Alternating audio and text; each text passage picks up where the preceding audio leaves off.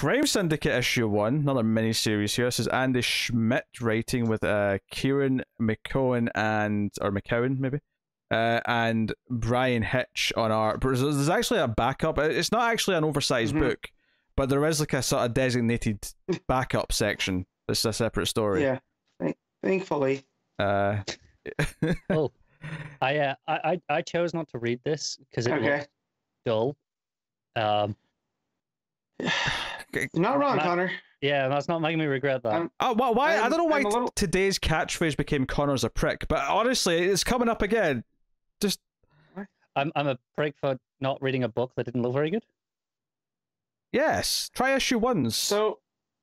You All coward. right, You, you guys can fight later. I, got- I got stuff to do today. I want to get this done. Um, so I had high hopes on this book, so it's mostly on me. Um, but when I started it, Infinite Frontiers meant to be like, hey, we're going forward. Mhm. and this felt like a big step back. Um, and uh, it's just the characterizations of these crime syndicate. like I understand they want it to be different because now Earth Three is different. Um, but different doesn't. I don't know. I say a different form of. Uh, I can't even get my words together right. It was bad. Like I did not enjoy reading this. Um, I love how he's searching for words and it just ends up with this. because I didn't want to outright say that, but like Can I ask a question? Be- is is is, is What? Ultraman as a kid being responsible for killing JFK? Is that a new thing or is that something that's that that's completely that's new completely because new, okay. traditionally Ultraman isn't an alien. He's a human that ended up getting powers via kryptonite, and then he almost becomes an addict because he needs that kryptonite to feel special, Mhm, yes? right? And, well, it's, they, and it's they do they do reference he's an addict later on in the issue, so Yeah. presumably he's still munching So, on like- kryptonite. right, and he might not be Kryptonian, but he's being played as Kryptonian here. Mhm. I was getting vibes of of Brightburn Actually, here. I didn't even notice this when I was reading it, but on the the page Yeah. uh, you know where he's floating in the air as a kid, uh, Yeah. he's on Elm Mhm. Street. Yeah. it says Elm Yeah, Street the street side. Um, They're not subtle, then, is what you're saying. no, not at all. And so like, and I and I get this is, you know, versions of the of the Justice League that are on an Earth where morality is flipped, but I didn't get that. You know, I don't get that morality is flipped. Yeah, it's about Like I haven't weird in different versions of Earth Three. Um, because obviously we skip ahead to when they're adults, and Yeah. uh, Ultraman doesn't like the fake news that's been printed in the Daily Right. Planet about him. Cat Grant took a stand and said some Mhm. nasty Which things about I- him. I do like that Cat is the the publisher because you know she does have a different relationship with Superman traditionally. Mm-hmm. Um, so for for her to be the one running those stories, I, I thought that was pretty cool. Yeah, I wasn't Uh, super into this either. There is the odd little thing that I kind of like, like in the Mhm. art where, for example, they tease like someone speak, speaking to the president, and it, it, it's these two close up panels of the mouths, and it's like whoever whoever the villainous woman is is like saying you know something, and then she's like makes like moving his mouth to match it, Mhm. and it just you, you get a sense of what it's doing, and it turns out to be Superwoman. Uh, with President Oliver Queen. Right, who's but it's Donna Troy Superwoman. yes, very different. Which is different, which again, different doesn't always mean bad. That's what I was trying to get around to. But here I just nothing lands Yeah. for me. John Stewart is the power ring. Uh, right, now. which I did that was the one high point here is how different they've made this power ring from different and not just because it's John, just his whole idea of of order, right? And that's what he's gonna try to bring to this earth. Um is, is completely different than the power ring that we've got that he's like this scared individual Mhm. that lets the ring make the decisions for him. That's completely different from this, which, which that was a good change, I thought. Yeah. Uh, Yeah. here, and, you know, you know, th- make the character interesting. there's a Starro invasion towards the end, which they all kind of react to uh, after they're Um, introduced. Which I do like. Uh, yeah. You know, no one's allowed to bully the city but me. I, I did like that out of Ultraman because it's very Ultraman.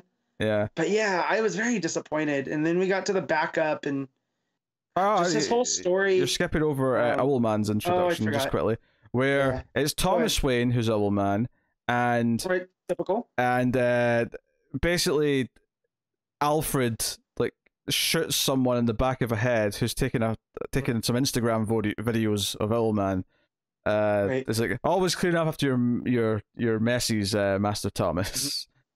Uh, that's basically the thing. Uh, yeah, the backup is basically just like a, a telling of young Ultra Man. So- I it, it, take this for what you will. I took this version of if these are the Kents. this, this is the Snyderverse Kents. All right, you end up Well- with Ultraman. Basically, yeah, they, they, You know? they, they, the, the, the opinionated people who describe someone as a, a bunch of freeloaders, right? Right, Uh, right. and so so this is what this young Clark is is, is taught, and because he has that viewpoint, eventually when the Kents reveal that he's an alien and they show him the ship, he says, Uh-huh. "You're liars! You've been making me do chores. You're freeloaders too." And now he's just Right. evil because he sees everyone on Earth as a bunch of freeloaders. Right. And I'm just like, all right, well, uh, I don't. Sure. I, For, for the amount that you called me a prick, I feel like I made the right decision. he, he did. Yeah, You know, You're supposed to doesn't like suffer springing- too. Right, but Pete doesn't like springing surprises unless it's him doing it. You know, well, like like times where I was led to believe that we were all reading a book, and I get there and I'm the only one that read it. Nah, You know? for the record, I'm not surprised. I'm just disappointed. Right, Yeah, but yeah. Uh, the one other thing I did think was funny here is they would editor note books that aren't. Oh real. yeah, I actually I- think this was funny. I yeah, thought that was funny. There's, there's there's two or three editors notes where it'll say, uh, like John Stewart will mention something about the Green Lantern Corps, like yeah, coming up in Green Lantern Corps, blah blah blah. Uh, on shelves never. and it was just I thought that was pretty funny. Yeah, I got a kick out of that. Yeah, but like just these characterizations, they just go a little bit too cartoony in not a good way. Yeah, you know, I- like again, the whole freeloaders thing, and you're just like, do something more. Like you already kind of set them up. Like again, I was getting vibes of the Kents from from Man of Steel, where they're like, this this country doesn't owe you anything. The world doesn't owe you anything. You be you, and you be proud of it. And then it all loads to him like they're like, oh, I wanna- well, do you I've had to do chores, so I almost would have preferred if this this book, like the New Earth Three Ultraman, is just Man of Steel Kent's, that would have been would have been great. but it If becomes you told me Ultraman. that's what it was, I'd have gone and bought it right now. yeah, Yeah. right? And it almost gets there, and then you get to that, and you're just like, well, this is not satisfying. Like him, like he's just a brat.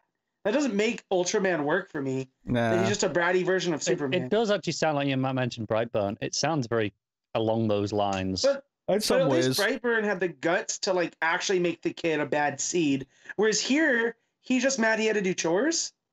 yeah, that's, that's was- the reveal. yeah, Brightburn was obviously trying to be more of a horror movie where it was dealing with the fear of the people because you know the, the, the parents in Brightburn weren't evil. The parents were scared of No. him and like were terrified when they started to realize what he was capable of. But they weren't awful Mhm. to him. They, they didn't make him be evil. You know. Uh, Uh, But yeah, so and here that's where I, I got the vibe that's what they were going for when he assassinates well, JFK. I mean, bet- between you know. between mentioning fake news, between the parents calling anyone Yeah. who gets a handout a freeloader, I Right. mean, there's, there's a bit of a political message in here about you Mhm. know like making like really entitled uh like you know uh, little shits I, like i don't know like which yeah, which which I could buy the vibe if that was the morality on this Earth three, right? That's but I don't get that. I get that Earth three is actually not that much different than typical Earth, but just the Justice League is bad now. I and you know, and that to me that Earth three doesn't work. yeah You know, you got to have that flip morality where, you, you know, Bendis even played with it in in his you know Young Justice and Superman run. You know that that's part of John's origin, where that Ultraman imprisoned him in a volcano. You know, because he was almost jealous of him. yeah oh, that was definitely more that- interesting for sure no yeah, and so this one is just not interesting. So yeah i've been waiting Matt to finish for like three minutes so i could ask him what he's Yeah. rating and move on yeah, it- it- this is a four.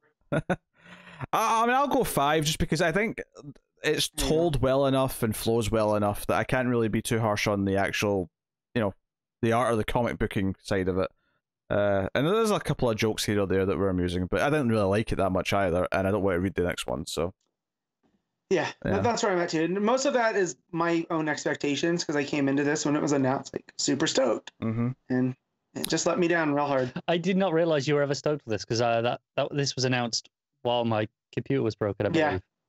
Yeah. Uh, So as soon as I saw this, I was like, I don't think I'm going to I that really- the whole time. one- I, one my- I assumed that you guys also had the same kind of Yeah. muted trepidation about it. I didn't realize there was excitement about this one. No, for, for me it was because um, the first Morrison thing I think I ever read was his Earth Two graphic novel. Hmm. Like I remember buying that in middle school. I had my mom get it for me at the bookstore, and I read that, and that really set the tone. Like, oh, cool! Like evil versions can be cool. I don't think Like I, they're not just the Soki thing. I don't think I'd So be describe myself as excited. Matt was excited. I was neutral Yeah. curiosity. I suppose I'd call myself. Yeah.